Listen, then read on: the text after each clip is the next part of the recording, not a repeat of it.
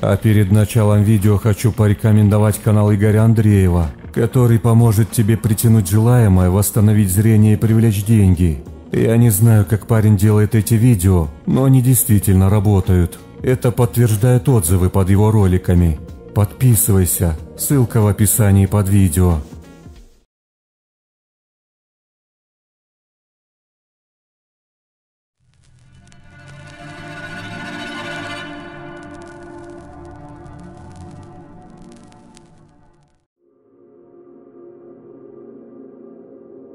Это было несколько лет тому назад. В тот год я родила долгожданную дочку. Муж устроился на престижную работу. Все в жизни складывалось удачно до такой степени, что боязно было сглазить. Была морозная зима, и мы узнали, что в деревне под областным центром умерла моя двоюродная тетя. А так как она была одинокой, то дом и участок автоматически достались мне в наследство – мы с мужем нарадоваться не могли, всегда мечтали о даче.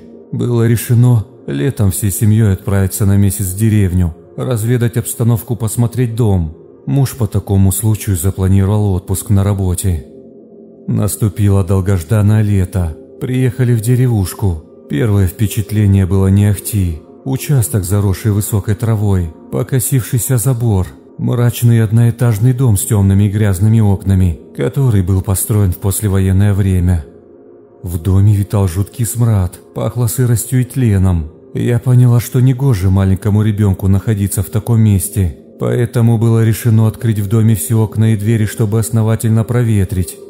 Весь день суетилась, убиралась в доме. Муж косил траву на участке.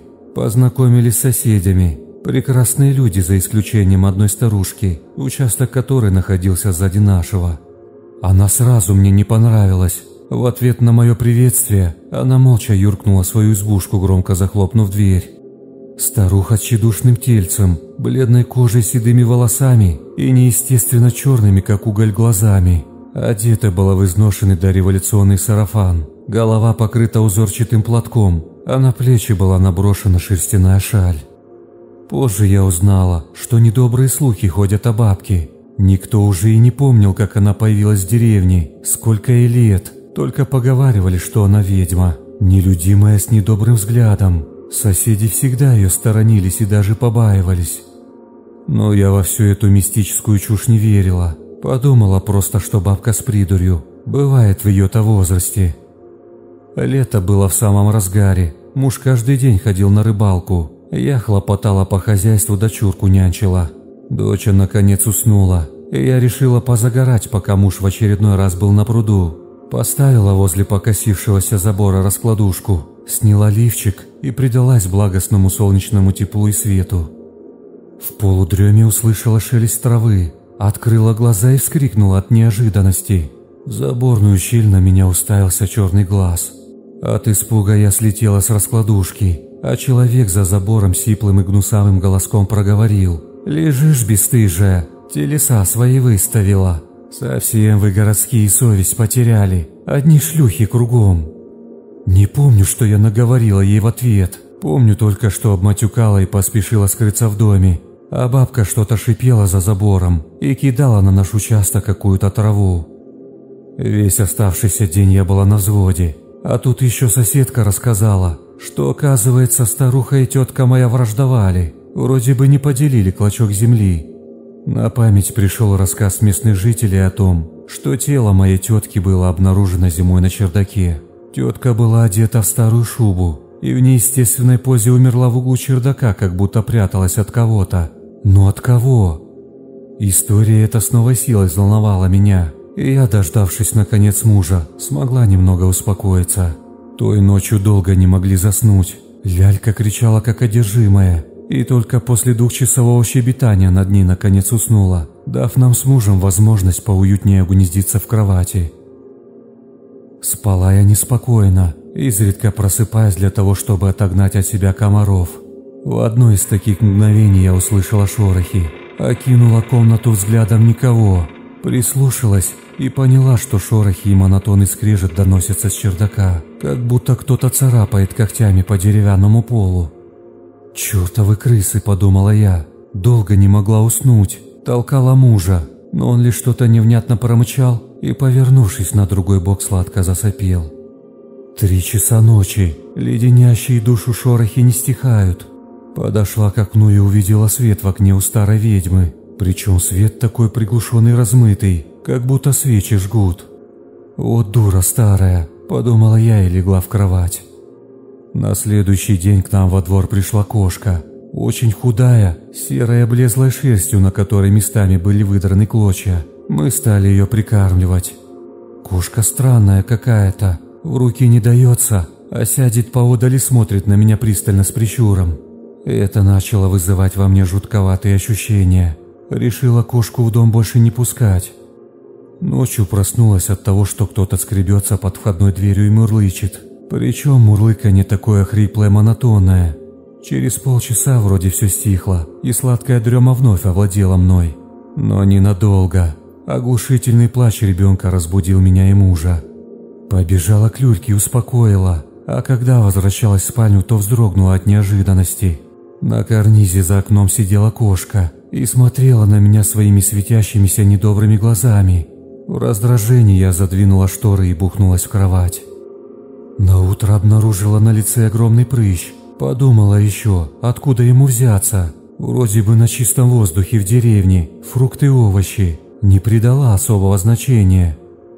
Следующей ночью проснулось чувство покалывания на груди, как будто кто-то переминает лапками, и опять это мурлыканье.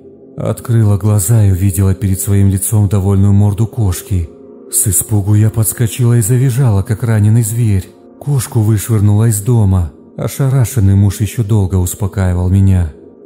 Когда на следующий день анализировала ситуацию, то не могла понять, как кошка могла попасть в дом. Ведь входная дверь была закрыта, а на окнах неповрежденная сетка от комаров. Обыскала весь дом, никаких лазеек. Мне стало страшно. С каждым днем мне все труднее и труднее было просыпаться. Я с неимоверным трудом поднималась с постели. Было ощущение, что ночью по мне рота солдат маршировала. На расческе стало оставаться все больше и больше волос. Сыпь на лице, ломота во всем теле, аппетит пропал. Я постепенно превращалась в развалину. Муж стал делать замечания по поводу моей внешности. Кошка была как тень, она была повсюду, не давала проходу. Пыталась ее прогнать, но бесполезно. Подметила, что шерсть у кошки стала ухоженной, прямо лоснится. Внутренний голос подсказывал мне, что тут что-то не так, но телесная слабость не давала ясно мыслить. В ту роковую ночь ничто не предвещало беды. Я уснула так крепко, как не спала уже давно, да и кошка не показывалась на глаза уже два дня. Проснулись с мужем от нестерпимого крика нашей малышки. Забегаем в детскую, а в люльке кошка с диким визгом кусает ребенка. Увидела нас и галопом к приоткрытой входной двери. Но как? Ведь дверь мы запирали. Я ребенка на руки и бегом фельдшеру, благо живет недалеко, а муж в бешенстве, спотыкаясь, спустился за этой гадиной. Слава богу, что с ребенком оказалось все в порядке. Сделали укол и перебинтовали ручку. Муж вернулся домой запыхавшийся и с красным лицом. Спрашиваю, что с ней. Убил, говорит. Мне даже жалко ее стало. Эту ночь я не забуду никогда. На следующий день деревню потрясла новость. На засеянном пшеницей поле неподалеку от деревни нашли труп бабки-соседки с проломленной головой. Дом и участок мы, конечно, сразу же продали. Но с тех пор со мной стали происходить еще более странные вещи. Каждую ночь меня будет мурлыканье, жуткое мурлыканье в темной комнате.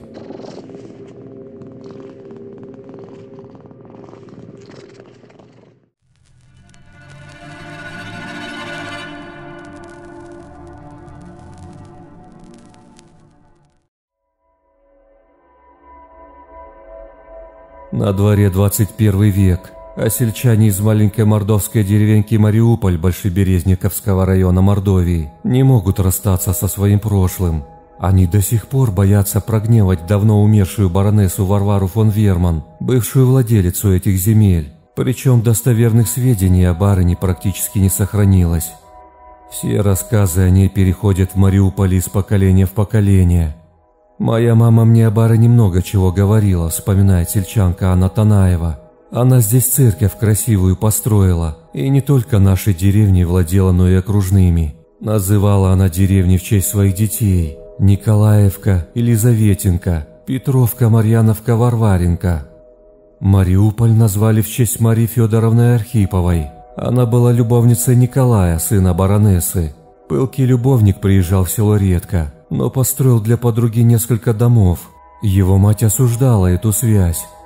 Спустя несколько лет после близкого знакомства с Николаем, Марья уехала в Симбирск и завела себе другого любовника. Измена продолжалась всего несколько месяцев. Марья Федоровна скончалась после аборта. Николай решил похоронить ее на своем семейном кладбище. Хоронили ее в родном селе с невероятной помпой. Кони с попонами, дороги в еловых ветках. Как только телега с гробом подъехала к селу, там зазвонили в колокола. Похоронили ее в церковном фундаменте рядом со склепом умершей ранее баронессы. Доподлинно известно, что Верман и баронский род, происходящий от рижского купца Иоганна Вермана, пожалованного в баронское достоинство, в 1859 году грамотой саксен-кобурготского герцога Эрнеста II и признанного в России высочайшим указом 21 августа 1860 года. Сама Варвара Верман, урожденная Куприянова, появилась на свет в 1823 году. По рассказам сельчан, женщиной была властной нетерпящей неповиновения.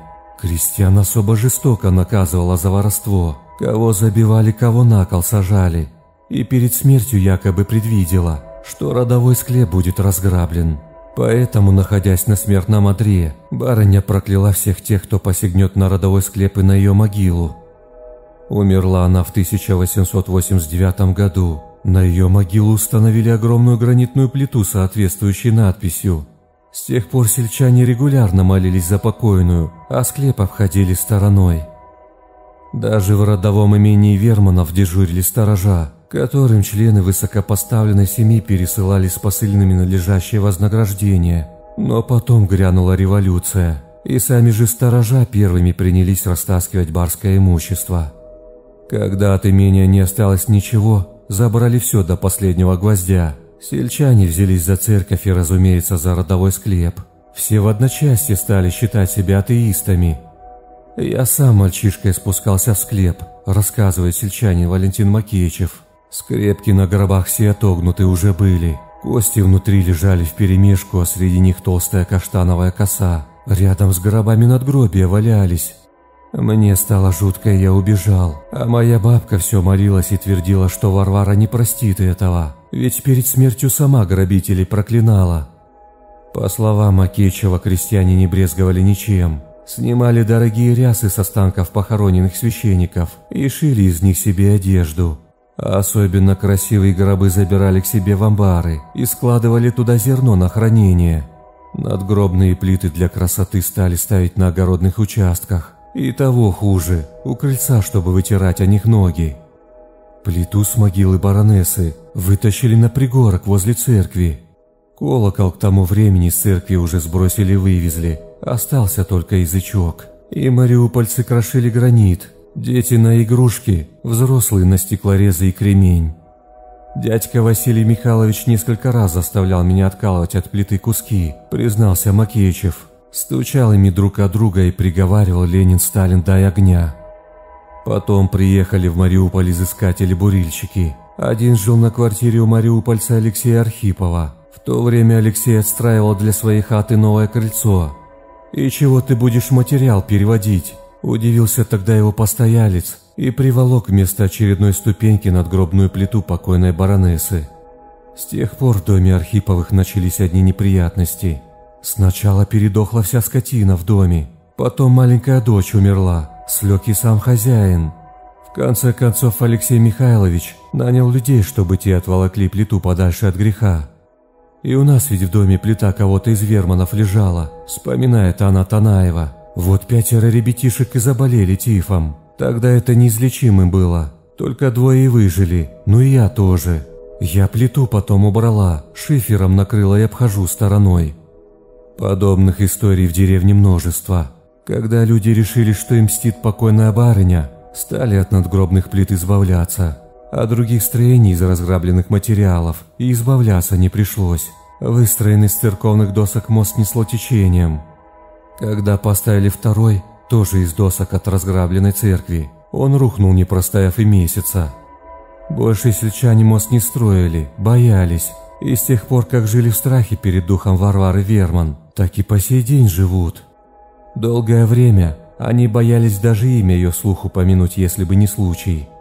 Районные власти решились вдруг построить в деревне мост, соединяющий другие улицы с улицей Барская. Здесь протекает речушка, и проехать невозможно, поэтому приходится искать окольные пути. Изыскали деньги и материал. Экскаваторщики уже принялись за работу, как вдруг, снимая верхний слой почвы, они наткнулись на гранитную плиту с надписью «Варвара Павловна фон Верман, урожденная Куприянова». Строительство сразу же прекратилось. Мостовики отказались вынимать плиту из земли, а именно она препятствовала дальнейшим работам. «Нет уж, не хотел я, чтобы руки у меня отсохли», вспоминает экскаваторщик Михаил Шишканов. «Мне какая-то пожилая дама всю ночь снилась, да и плита эта тоже, когда ее еще не раскопали». Как не уговаривали сельчан местные власти в необходимости строительства, все только отмахивались. Но вас от греха подальше, «Опять на нас проклятие Варвары наводите», — говорили они. Чиновники хватались за головы. На помощь им пришел настоятель здешней церкви отец Владимир. «Не избавитесь вы от проклятия, пока надгробие на место не установите», — обратился он к сельчанам. «Да Господу помолитесь, чтоб простил и вас, и ваших предков, которые все эти бесчинства творили». Священнослужители читали молитвы, а приглашенные со стороны строители перевезли плиту туда, откуда ее когда-то взяли. От старой церкви и склепа на прежнем месте, конечно, ничего не осталось. Надгробие установили на примерное место захоронения, совершив все необходимые обряды. Сразу после этого скончался последний владелец плиты, который до сих пор лежал сломленный неизвестной болезнью. Он не мог существовать нормальной жизнью, а смерть к нему не приходила.